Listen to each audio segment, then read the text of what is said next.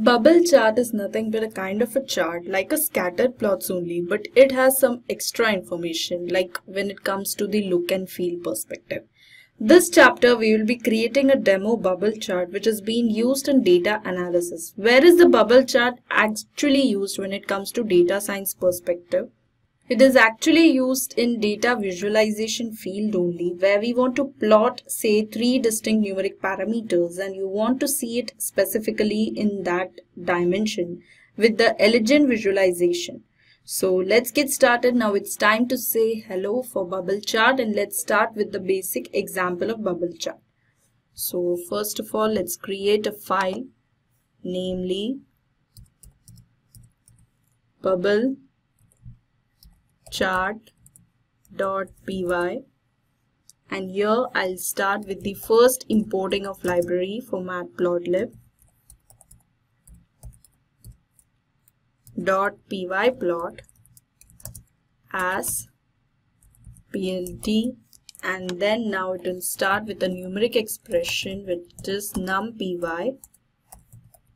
as np now let's start with the first section which is for creating the data. So here I'll create the data and it will be the variables of x, y and z where x equals one random set of data np.random.rand function for creating the random values with a range of 5 y equals np.random dot rand values with a range of 5 and then z equals np dot random dot rand value with a range of 5 after this comes the next value is to change the color and alpha values.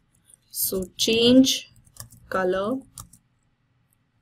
with c and alpha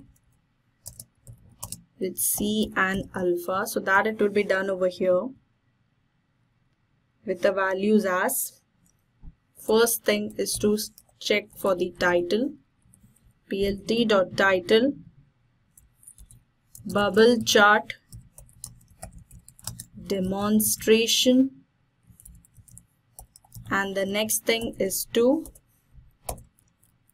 get for the scatter value that is plt dot scatter x comma y comma the slope value to be represented as z into 4000 this is for the axis representation. My color for the bubble charts is say red. And the next thing is to plot out for the alpha value which is equal to 0.4 now let's plot this chart that is plt dot show so once this section is done, we will plot it accordingly and the values will be fetched over here. So let's go to the command prompt. This is my command prompt and here I'll mention python bubblechart.py. If any error is there, it will be depicted in the command prompt as expected. So here you can see the bubble chart demonstration with the values being depicted with the x, y and z axis. Z axis is the middle axis which is represented over here. And this is the intersection of the two bubbles. These bubble charts are frequently used in data science. It's an example of a scattered chart. But scatters are just dot points. But here in the bubble chart, you can see your scattered plots in even more bigger dimension. And that is clearly visible in the screen. The next example we will be focusing now is about data cleaning process which is called as data munging and that is the best thing to do with the data science.